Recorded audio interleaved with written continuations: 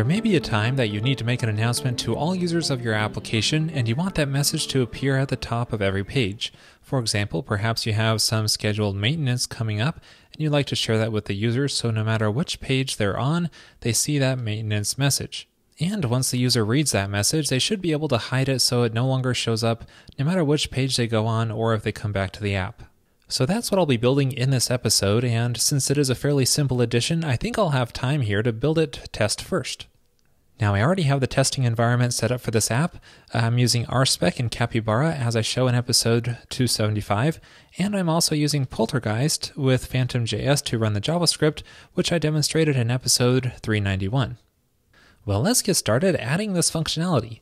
I usually always start with a request spec, and we can make one using the integration test generator. Let's call it announcement. And here's that request spec which was generated. I'll clear most of this out, and let's just say it displays active announcements. So the first thing I want to do is create an announcement. Now I want this to be stored in the database, so I'm going to make a model called announcement, which I can create, and I, I don't have this model yet, but I'll make it later. And let's give it a message of what we want to display to the user. I'll say hello world, and I also want to have a start and end time attributes on this model so we can automatically hide it. So starts at, uh, let's say one hour ago, and ends at, we'll say one hour from now.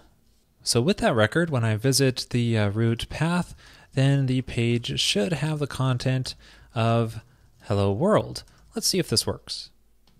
Not surprisingly, when we run our specs, they fail because we have yet to create an announcement model.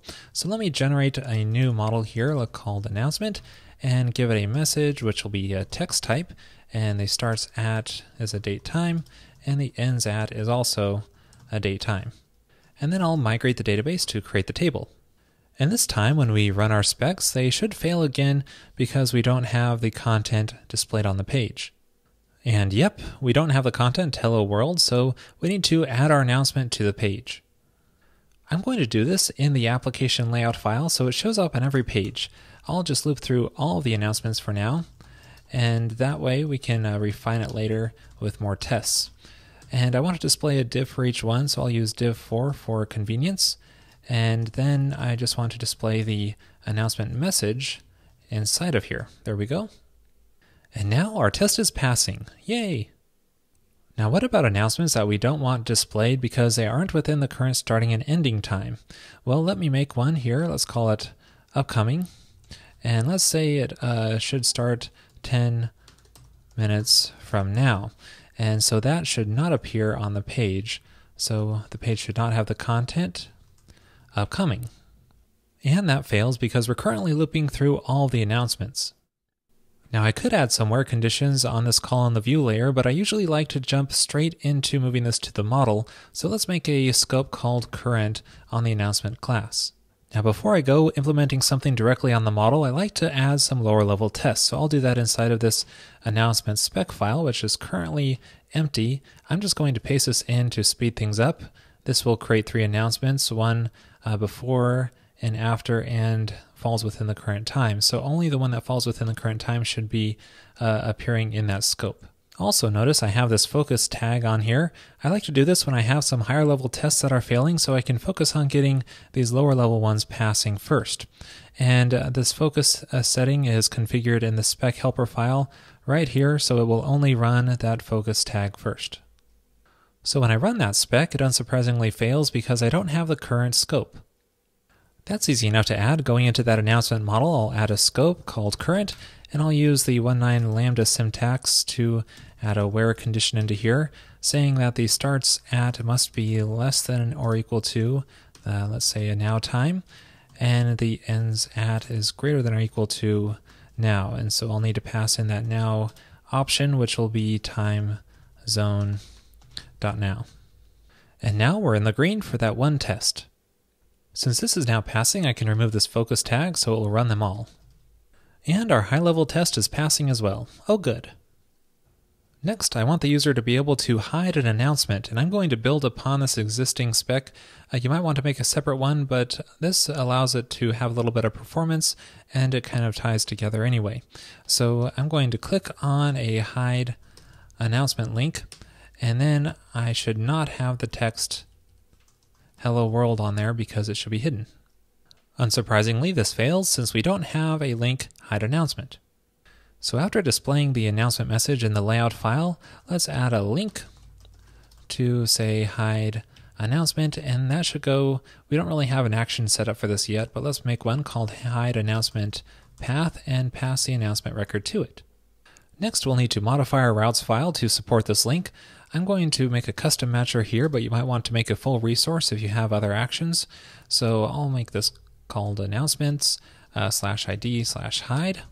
And that will go to, let's make an announcements controller with a hide action. And let's make this a named route called hide announcement. There we go. So we'll need to generate that controller called announcements.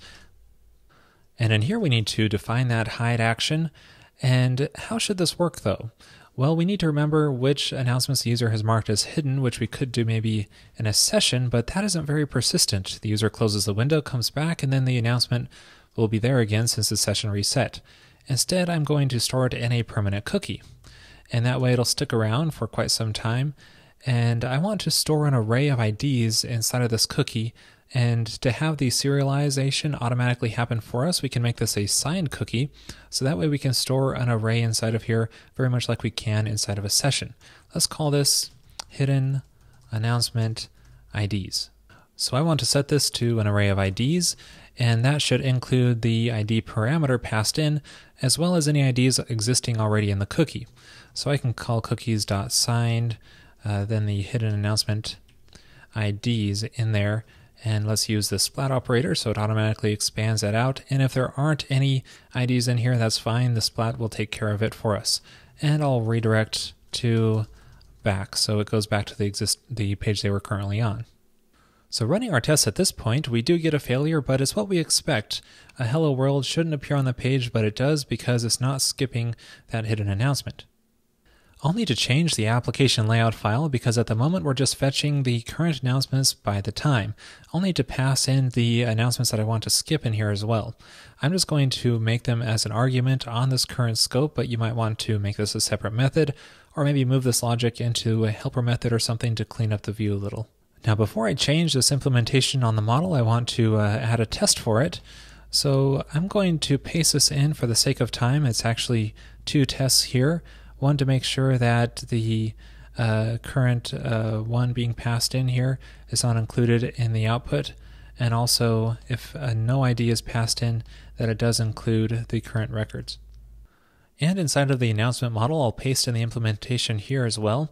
Uh, this is actually going to be a class method instead of an actual scope, and this will just do the same current date time find and also exclude any IDs passed in here if there are any present.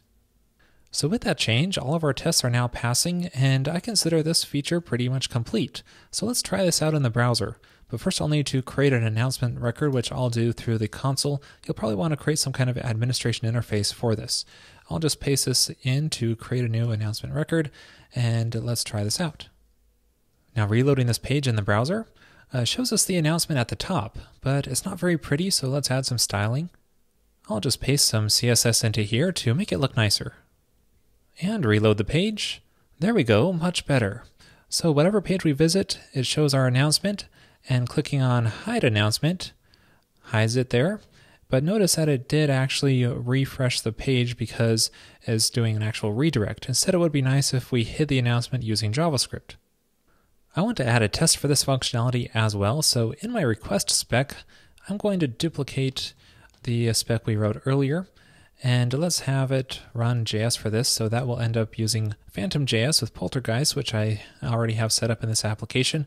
And I'll clean this up a little bit to handle the edge cases I don't care about for the JS version.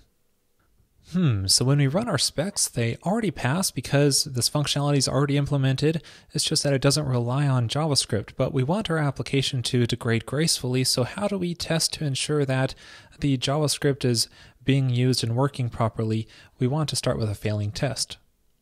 So going back to our spec, uh, let me first change this description so that it's a little more clear. I want that it stays on a page when hiding announcement with JavaScript. So the way this should work is when I click on the hide announcement page, it should activate the JavaScript and stay on that same page. And we can accomplish this by uh, something like this, saying expect it to not change the page response headers. So let's try this out. This time we get a failure because the page's response headers do change since we are actually visiting a new page and not staying on the same one with JavaScript. We have a failing test, so let's get it passing. I'll do this really quickly here, changing this hide announcement link, passing the remote option as true so it uses Ajax. And then in the announcements hide action, let's change this redirect back so it only happens on an HTML request and the JavaScript request will use a view.